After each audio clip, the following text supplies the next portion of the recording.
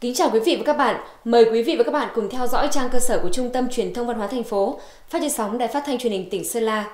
Trong chương trình hôm nay có những nội dung chính sau đây.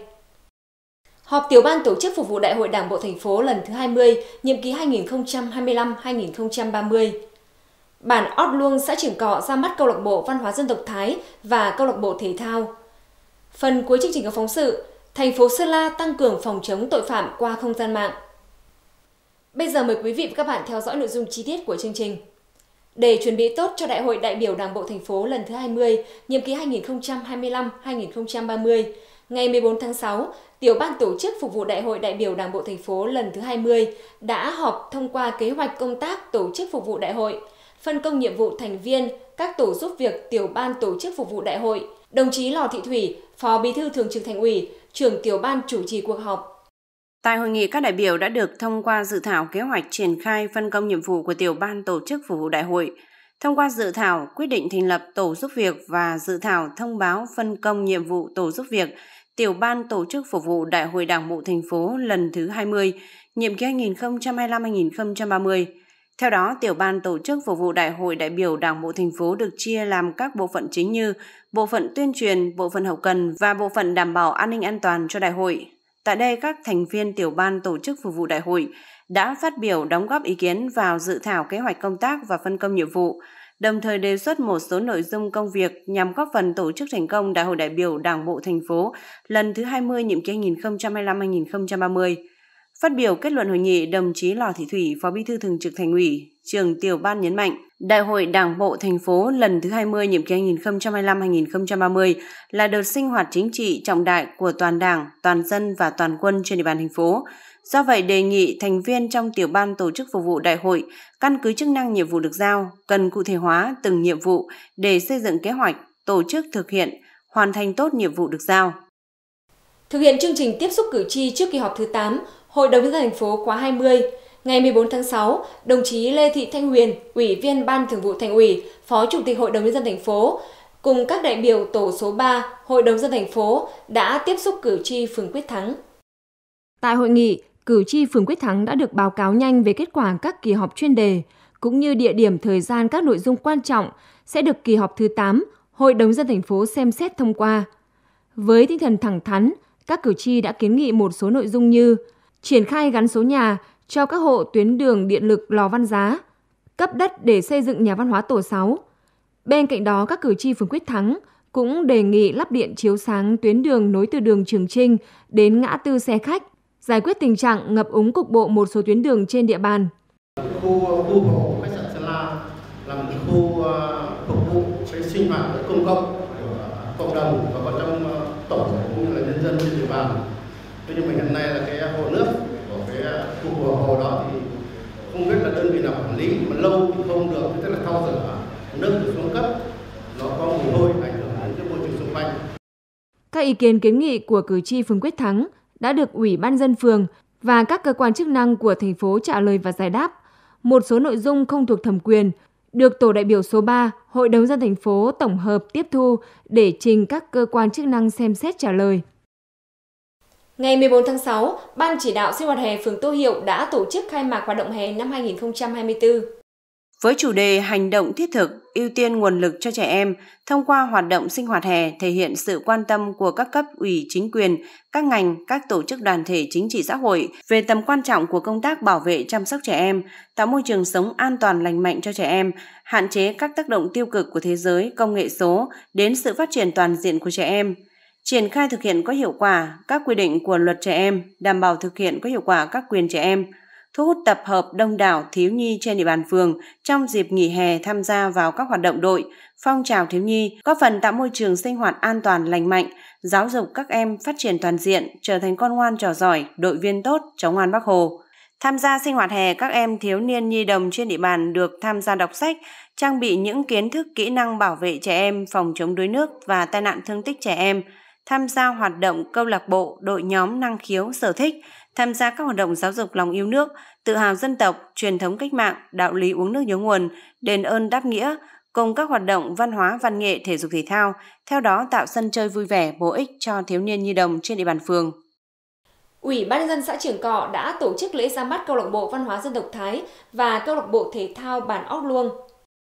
Nhằm tiếp tục thực hiện đề án số 04 của thành ủy về giữ gìn và phát huy bản sắc văn hóa các dân tộc thành phố, mang đậm bản sắc văn hóa các dân tộc tiểu vùng Tây Bắc giai đoạn 2020-2025. Câu lạc bộ văn hóa dân tộc Thái và câu lạc bộ thể thao bản Ót Luông ra đời nhằm tạo điều kiện cho quần chúng nhân dân lao động, không phân biệt lứa tuổi, những người cùng chung sở thích, tự nguyện gia nhập câu lạc bộ để có điều kiện giao lưu học hỏi, để cùng lưu giữ bảo tồn và phát huy vốn văn hóa văn nghệ dân gian truyền thống của dân tộc Thái, góp phần phát triển đời sống tinh thần cho nhân dân.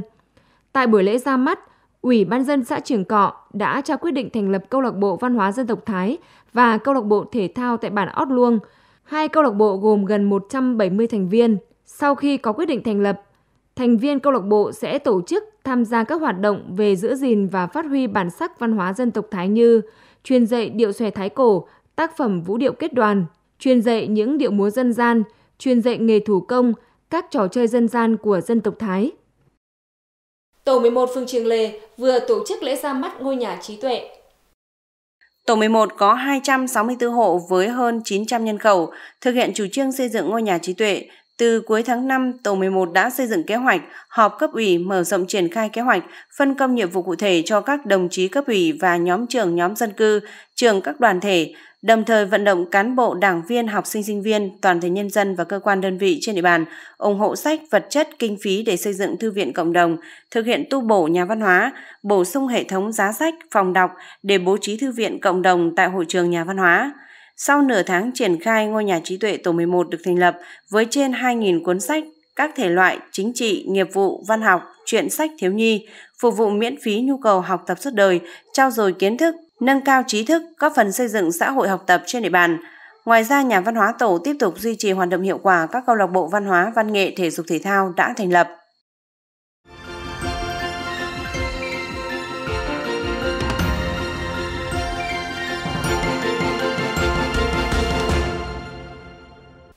Thưa quý vị và các bạn, trước tình trạng tội phạm lừa đảo qua mạng xã hội diễn biến phức tạp, Công an thành phố Sơn La đã tích cực tuyên truyền về phương thức thủ đoạn để người dân nâng cao ý thức cảnh giác. Đồng thời các đội nghiệp vụ, công an cơ sở luôn tăng cường nắm tình hình để kịp thời ngăn chặn, giải quyết các tin báo tố giác tội phạm lừa đảo qua mạng xã hội cũng như tuyên truyền nâng cao ý thức cảnh giác cho nhân dân.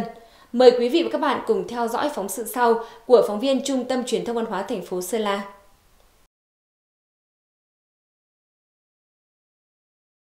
Mặc dù liên tục tuyên truyền cảnh báo trên các phương tiện thông tin đại chúng và mạng xã hội, nhưng thời gian gần đây, số vụ, số người bị lừa đảo chiếm đoạt tài sản qua điện thoại, tin nhắn, mạng xã hội trên địa bàn thành phố Sơn La vẫn còn xảy ra với nhiều thủ đoạn mới, tinh vi, gây thiệt hại lớn về tài sản của người dân. Hầu hết trong các vụ án lừa đảo chiếm đoạt tài sản trên không gian mạng hiện nay đều diễn ra với cùng kịch bản, đó là các đối tượng tội phạm thường lợi dụng tâm lý nhẹ dạ cả tin, sự chủ quan, thiếu cảnh giác, thiếu thông tin kiểm chứng, thậm chí là sự hám lời của bị hại để lừa đảo chiếm đoạt tiền. Mặc dù các hình thức thủ đoạn lừa đảo không mới và các lực lượng chức năng cũng đã thường xuyên tuyên truyền cảnh báo, nhưng nhiều người vẫn dễ dàng trở thành nạn nhân của tội phạm lừa đảo trên không gian mạng. Thời gian vừa rồi thì tôi cũng uh, tìm các uh, tour du lịch giá rẻ để đi uh, du lịch cùng gia đình. Thì tìm hiểu ở trên mạng xã hội thì tôi có biết được một cái tài khoản này có đặt các tour du lịch. Thế nào tôi cũng không tìm hiểu kỹ xem là cái người đặt tour này là ai và cũng theo mọi người đặt. Vì theo họ nó họ nói là không đặt nhanh thì sẽ hết, nên là tôi đã đặt cho gia đình và đã chuyển tiền cho các đối tượng. Đến cái ngày mà đi thì tôi liên hệ lại thì lại ừ, không có vé cho tôi như đã hứa. Tôi gọi điện liên hệ với người này nhiều lần nhưng không được và sau đấy thì thì thì ừ, tôi hỏi những ừ, một số những người khác cũng đặt tour đấy thì họ nói là cái tài khoản này là lừa đảo. Trường hợp của anh Tê chỉ là một trong rất nhiều trường hợp người dân trở thành nạn nhân trong các vụ lừa đảo qua mạng, lợi dụng sự cả tin đánh vào tâm lý mua hàng giá rẻ, nhanh gọn lẹ của nhiều người dân. các đối tượng đã thực hiện vô số những hành vi thủ đoạn lừa đảo, chiếm đoạt tài sản lên đến hàng tỷ đồng. Đặc biệt theo cơ quan công an, đối tượng tội phạm mạng xã hội thường nhằm tới đối tượng là cán bộ hưu trí, người neo đơn, mời nhận quà, mua hàng qua mạng và những lời dụ dỗ hết sức tinh vi. Đặc biệt thời gian gần đây, sau khi Bộ Công an triển khai cấp tài khoản định danh điện tử đã xuất hiện những kiểu lừa đảo qua mạng xã hội với chiêu bài kiểm chứng thông tin. Cụ thể các đối tượng tự xưng là công an sẽ đọc chính xác tên, số định danh, ngày tháng năm sinh. Dữ liệu của nạn nhân đã bị lộ lọt do nhiều nguyên nhân. Để yêu cầu nạn nhân thực hiện theo yêu cầu như đăng nhập vào website giả mạo của cơ quan nhà nước để điền thông tin cá nhân, cung cấp thông tin tài khoản ngân hàng. Sau đó đối tượng dùng thông tin trên đăng nhập các ứng dụng ngân hàng trực tuyến, ví điện tử của nạn nhân rồi chiếm đoạt. Các đối tượng ờ, sử dụng các nhiều thủ đoạn tinh vi như ờ, giả danh ờ, cơ quan công an, vị kiểm sát, ngân hàng, nhân viên ngân hàng, tuyển cộng tác viên, bán hàng online, bán vé máy bay với giá rẻ gây thiệt hại lớn về tài sản cho người dân. Do sự hiểu hiểu biết về công nghệ thông tin, mạng xã hội của người dân còn hạn chế, cùng với ờ, tâm lý nhẹ dạ, cả tin, thiếu cảnh giác nên đã bị các đối tượng lợi dụng lừa đảo chiếm đoạt tài sản. Mặc dù công tác tuyên truyền phòng ngừa tội phạm trên không gian mạng được tăng cường, tuy nhiên vẫn còn một bộ phận người dân tiếp cận thông tin tuyên truyền còn thấp, nên tình trạng người dân bị lừa đảo chiếm đoạt tài sản trên không gian mạng vẫn còn xảy ra với thiệt hại lớn. Tính riêng với tội phạm lừa đảo trên không gian mạng, từ năm 2023 đến nay, lực lượng công an thành phố đã khởi tố 4 vụ án, số tiền thiệt hại lên đến trên 3,6 tỷ đồng. Để phòng ngừa đấu tranh với loại tội phạm này, Cùng với lực lượng công an, người dân phải tự đề cao cảnh giác, chủ động tìm kiếm kiến thức để không trở thành nạn nhân của chúng. Thực ra nói bây giờ những cái lớp trẻ thì là khả năng nó còn nhạy biến à, à, nó còn nhanh nhạy được như người già chúng tôi là cũng rất khó hiểu nếu như không được sự, sự à, tuyên truyền của bên ngành chức năng. Tôi cũng mong rằng là không cứ gia đình nhà tôi mà tất cả toàn dân này đề nghị các đồng chí bên công an tổ phường rồi là các ngành chức năng là lên là tuyên truyền rộng rãi đến khắp mọi người dân. Để ngăn ngừa tình trạng lừa đảo qua mạng xã hội, ngoài xây dựng sổ tay an ninh ghi rõ thủ đoạn phạm tội để cảnh báo người dân trên địa bàn, từ đầu năm 2024 đến nay, Công an thành phố đã đăng tải 105 bài viết mới trên nền tảng mạng xã hội, đơn vị quản lý, trong đó có 38 bài cảnh báo qua các phương thức thủ đoạn lừa đảo trên không gian mạng. Bên cạnh đó đã tăng cường chỉ đạo công an các xã phường phối hợp với chính quyền cơ sở bám sát mục tiêu tuyên truyền cho người dân theo phương châm đi từng ngõ, gõ từng nhà, ra từng hộ, không để người dân nào không tiếp cận, cập nhật các thông tin tuyên truyền, tăng cường tuyên truyền trên không gian mạng như các nhóm Zalo của cộng đồng dân cư qua hệ thống loa truyền thanh về các nội dung lừa đảo liên quan đến mạng xã hội để người dân nắm rõ.